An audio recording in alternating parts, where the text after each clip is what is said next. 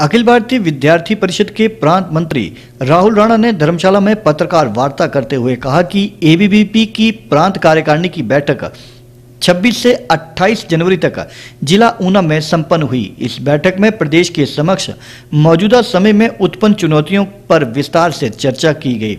वहीं विद्यार्थी परिषद के आगामी कार्यक्रमों की रूपरेखा भी तैयार की गई। राहुल राणा ने बताया कि बैठक में प्रदेश का वर्तमान शैक्षणिक परिदृश्य व प्रदेश का वर्तमान परिदृश्य विषय पर सर्वसम्मति से दो प्रस्ताव पारित किए गए व उक्त विषयों को लेकर प्रदेश स्तरीय आंदोलन की रूपरेखा तैयार की गई। राहुल राणा ने बताया कि प्रदेश सरकार ने एक वर्ष के कार्यकाल में कई सराहनीय कदम उठाए हैं, लेकिन काफ़ी मुद्दे ऐसे हैं जिन पर गंभीरता से कार्य करने की आवश्यकता है। उन्होंने कहा कि पिछले कुछ समय से प्रदेश में सड़क दुर्घटनाओं में वृद्धि हुई है। ऐसे में प्रदेश में सड़क सुरक्षा नीति का होना अति आवश्यक है। लावारिश पशुओं व बंदरों की समस्या दिन प्रतिदिन गंभीर होती जा रही है।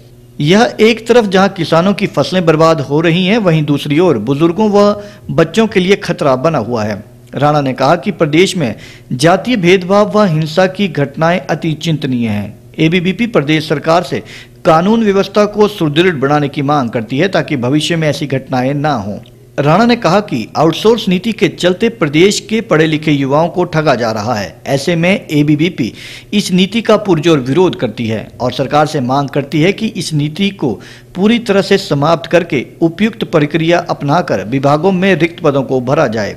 इसके अतिरिक्त एबीवीपी ने कृषि विश्वविद्यालय का जल्द शिलान्यास करने तथा अस्थायी परिसर में इसके अतिरिक्त एबीवीपी ने केंद्रीय विश्वविद्यालय का जल्द शिलान्यास करने तथा अस्थायी परिसरों में मूलभूत सुविधाएँ देने, नियामक आयोग व निजी विश्वविद्यालयों में भ्रष्टाचार एवं शिक्षा के व्यापारीकरण पर रोक लगाने, कृषि विश्वविद्यालय पालमपुर व बागवानी विश्वविद्यालय नौणी में छात्रों से ली जा रही अत्यधिक फ़ीस को कम करने, नियमों के विरुद्ध काम कर रहे नौणी विश्वविद्यालय के कुलपति को बर्खास्त करने सहित कई मांगें सरकार के समक्ष रखी जाएँगी।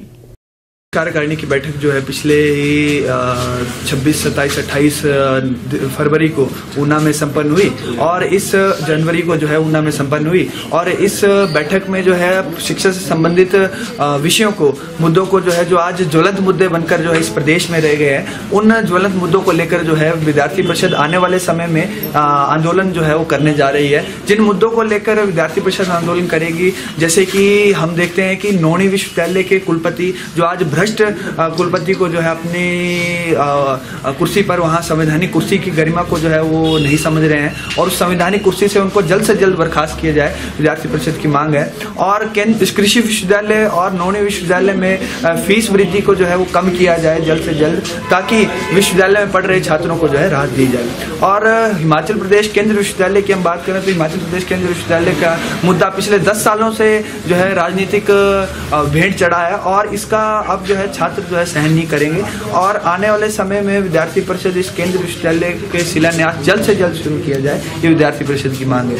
साथ ही एसएमसी और आउटसोर्सिंग के तहत हो रही भर्तियों पर तुरंत पर, जो है प्रतिबंध लगाया जाए ताकि हिमाचल प्रदेश में हज़ारों युवाओं को जो है एक रोज़गार नियमित रोज़गार मिल सके और नियमित भर्तियाँ इस हिमाचल प्रदेश में शिक्षा जगत में हो पाए। साथ ही ऐसे कई मुद्दे हैं जिनको लेकर विद्यार्थी परिषद जो है आने वाले समय में आंदोलन करेगी। और एक युवा मतदाता जागरण अभियान हमें जैसे ध्यान में है कि लोकतंत्र में महापर्व के रूप में अभी हमारा एक त्यौहार आने वाला है अप्रैल, मई के महीने में। तो इस समय हिमाचल प्रदेश में शत प्रतिशत, सौ प्रतिशत जो है, वो मतदान हो युवाओं के द्वारा। इसलिए एक युवा मतदाता जागरण अभियान विद्यार्थी परिषद पूरे प्रदेश भर में चलाने वाली है। जिसके तहत जो है कई जगह संगोष्ठियाँ, भाषण और युवा, उभरता भारत नई आशाओं के विषय पर भाषण किए जाएँगे। नुक्कड़ नाटक के माध्यम से युवाओं को प्रेरित किया जाएगा मतदान के लिए।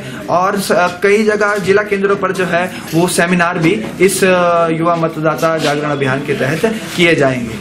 और अगर आपकी मांगे नहीं है मानती है सरकार तो आपका क्या कदम अगर विद्यार्थी परिषद की इन सभी मांगों को माना मा, अगर नहीं माना जाता है तो विद्यार्थी परिषद इसके खिलाफ अपना झंडा बुलंद करेगी और विद्यार्थी परिषद इसके खिलाफ एक उग्र आंदोलन पूरे प्रदेश भर में जो है वो करेगी। राहुल जी भी काफ़ी पिछले समय से आप नौनी विश्वविद्यालय की मांग को लेकर